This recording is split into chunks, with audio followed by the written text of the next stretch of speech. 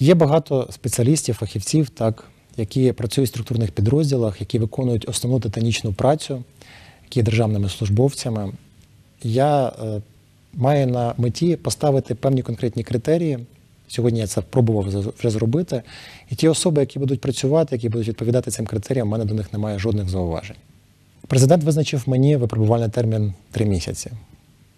В цих людей не буде три місяці. Тому що е, якщо вони будуть працювати погано три місяці, я за три місяці точно не зроблю те, що я маю зробити.